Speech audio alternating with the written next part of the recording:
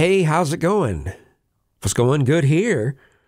I'm really surprised that the deal went through today. I thought it was supposed to be tomorrow. Of course, that was the deadline, but I thought it would be up until the last minute, you know?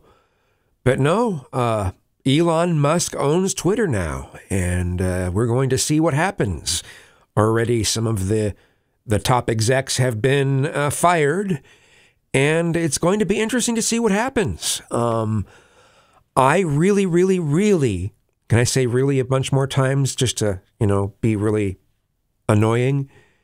Look forward to seeing what happens to the platform when it's not locked down to one ideology. You know, when, when people who have differing views can actually say what their opinions are without being told, oh, your opinions are hateful and therefore we can't allow it on this platform. You know, it, we're, we're going to have to actually allow these discussions. Now, I mean, some people are going to say, oh, well, uh, if, if it gets really nasty, it's going to start a civil war. Look, we're already, we're already heading towards a civil war anyway. Okay.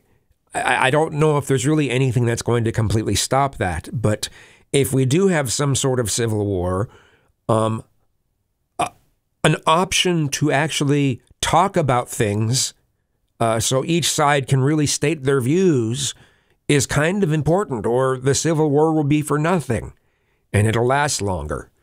So, you know, we we need to, we need some some place in the public square that people can really state their views. Right now on Twitter, you can't. I'm sorry, you can't. There's so many things you cannot say on that platform.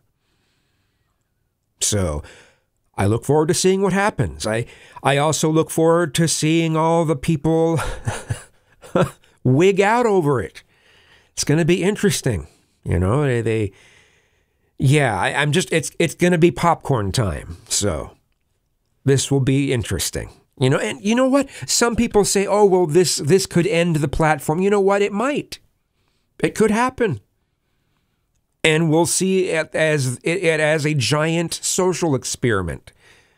You know, hey, this is what happens when you when you remove the uh, all the the regulations and the uh, uh, yeah, I'll just I'll just keep it there. This is what happens when you when you allow it to be even close to no holds barred, right? So I guess I'm rambling long enough. I'm I'm just surprised it happened today. You know, I had made a post saying, "Hey, yeah, it's gonna. Well, got gotta wait till tomorrow to be sure." No, no, we don't.